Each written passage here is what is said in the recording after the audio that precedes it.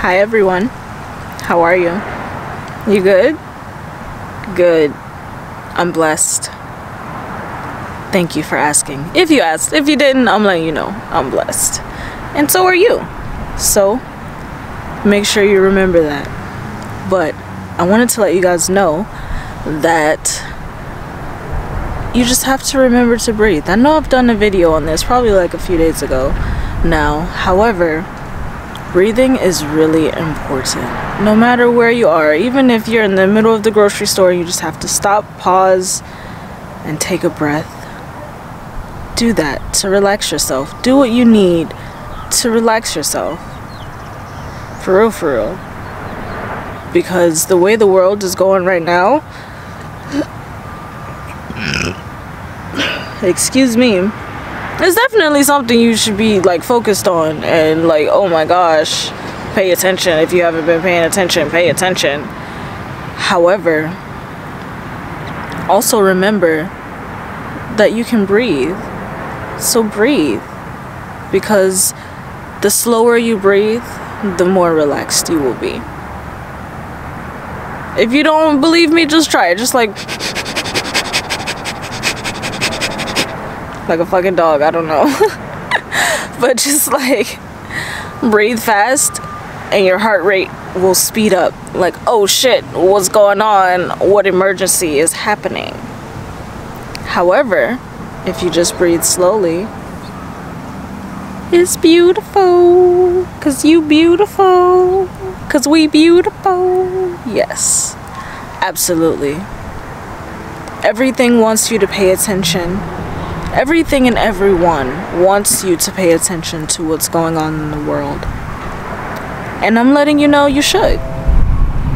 But I'm also letting you know that you are the most important person in your universe.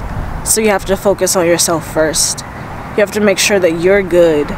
Because if you aren't good, then how is whoever it is that you're thinking is depending on you, how are they supposed to depend on you if you aren't even good? If you just have a nervous breakdown or something, then it's like, oh shit, I don't know what's going on with them because I don't even know what's going on with me.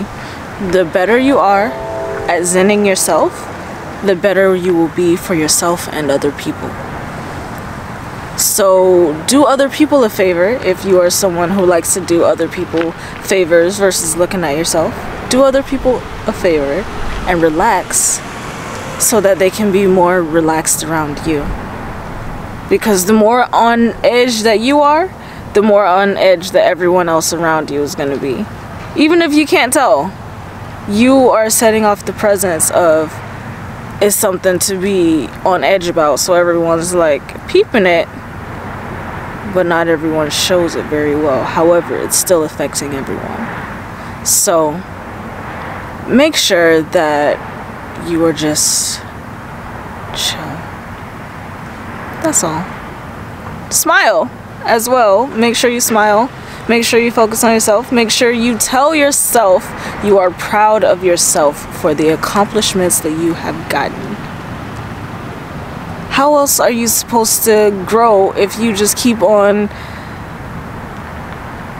not accepting that you've grown thus far?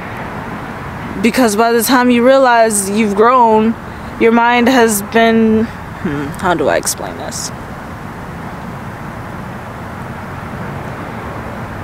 Appreciate the steps that you've taken to grow because if you don't appreciate it it'll go away or it'll change. So maybe you've grown into more of a thoughtful person. But at this point, you're so focused on doing better with being thoughtful that you're not realizing you're already thoughtful. You've already begun. You've already you're already doing it.